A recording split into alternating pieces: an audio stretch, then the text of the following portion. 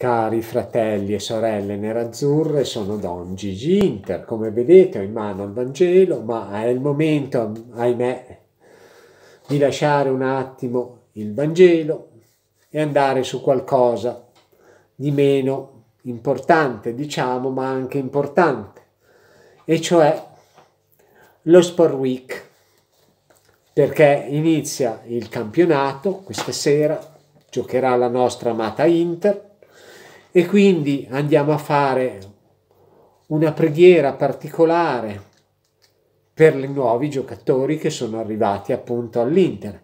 Eccolo qui, attacco al potere, attacco al potere, scrivono loro attacco al potere, la nostra Inter. Andiamo a vedere la nuova rosa dell'Inter e facciamo una preghierina per ciascun giocatore. Samir Andanovic para per noi. Qualmo Asamoah corri per noi. Stefan De Vrij difendi per noi. Diego Godin vedi di guarire un po' la svelta perché devi difendere per noi.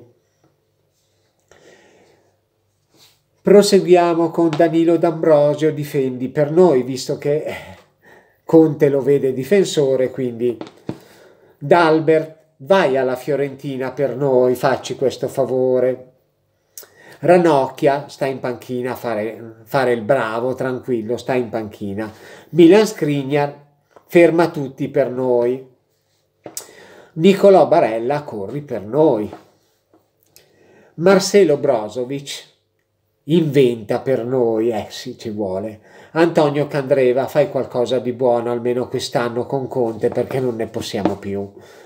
Roberto Gagliardini quando serve gioca bene, quando serve, se no stai in panchina.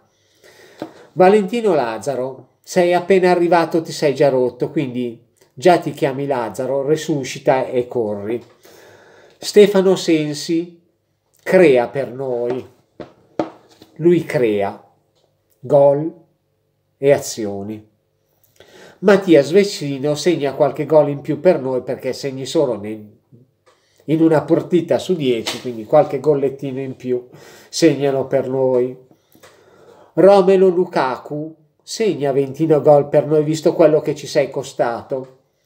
E Lautaro Martinez segna per noi. Bene, cari fratelli e sorelle nerazzurre, dopo aver fatto una presentazione veloce non di tutti i giocatori, ma di quelli principali, andiamo alla preghierina che ho preparato come sempre per la nostra amata Inter. Quindi come sempre mi tolgo il cappello in vista della partita di questa sera con il Lecce che si spera almeno con Lecce di non dover soffrire come con l'Empoli all'ultima giornata. Andiamo a leggere la preghierina che ho preparato per il Signore. Padre nostro Inter che sei nei cieli nerazzurri sia santificato il tuo nome, venga il tuo regno e fai tornare possibilmente anche quello dell'Inter. Se poi fosse come nel 2009-2010 sarebbe molto bello, ma va bene anche uno simile.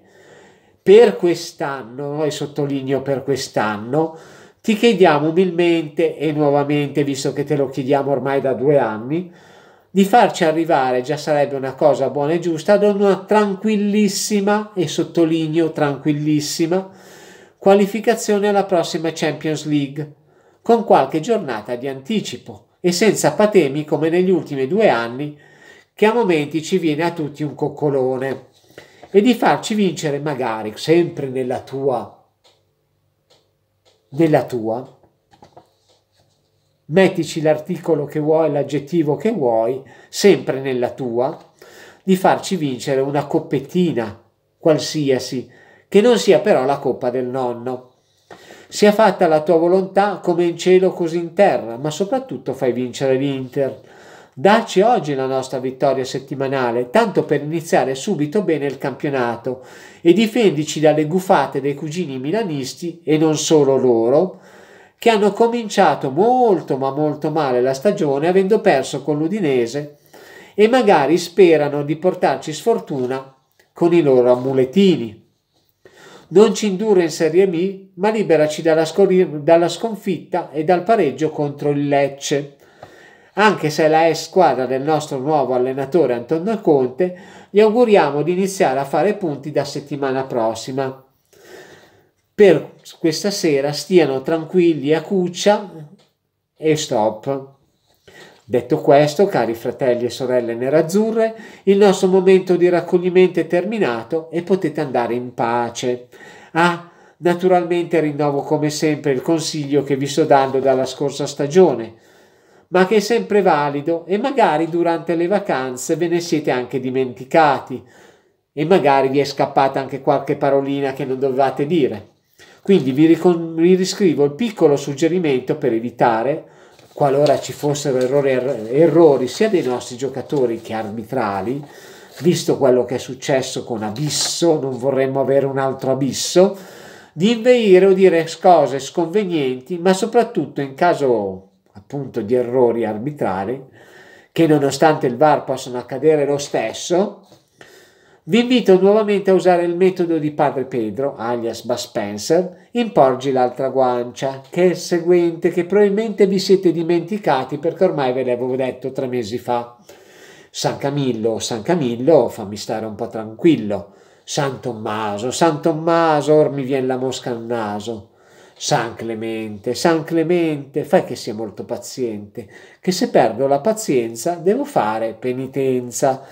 Bene, detto questo, cari fratelli e sorelle nell'azzurro, speriamo che il Signore, nella sua infinita bontà, guardi giù, anche se mi auguro che non ce ne sia bisogno, visto che giochiamo contro una neopromossa. E ci vediamo la settimana prossima. Amen. Andate in pace.